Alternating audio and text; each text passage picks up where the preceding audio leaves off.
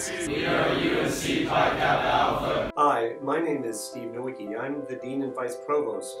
I'm Richie. I'm Caroline. Hi, Caroline. I'm Richie. And we're from UNC Best Buddies. Lene Belton, I'm on the women's basketball team. My name is Phil Ford. My name is Tiana Horn. I'm the president of the Black Student Alliance at Duke University. This is Ted. And I'm Ashley, and we're best best buddies. buddies.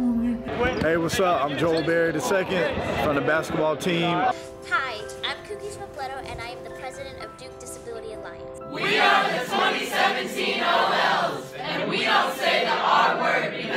I'm trying to think. I'm trying to think. There's a lot of reasons why I don't say. I have a sister who has cerebral palsy, um, so it kind of hits home with my family. Uh, but I just don't think it's a good word, anyways. One thing that I will not tolerate is the R word. It's very bad. It, it hurts our feelings.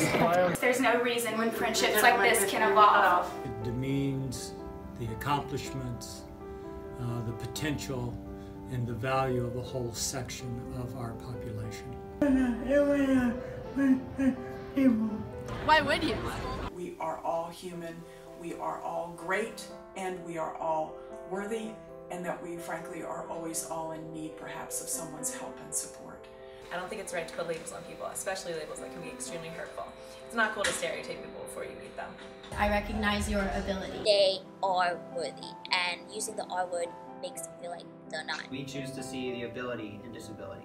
I don't think people should be reduced to a word. I have two autistic step siblings, and I want to show them all the love they need and deserve. I think it's offensive. I believe it strips individuals of dignity. We believe in the ability of everyone Everyone deserves respect. I don't say the R word because I'm not retarded. Because it's hurtful. It's unnecessary. I have a sister with developmental disabilities, and every time somebody says the R word to her, I can see how much it affects her. Because it's 2017. Come on, people. We're better than that. I don't think it's I don't think it's appropriate at all. Um, and I think that people put differences in the way, and there's really nothing different.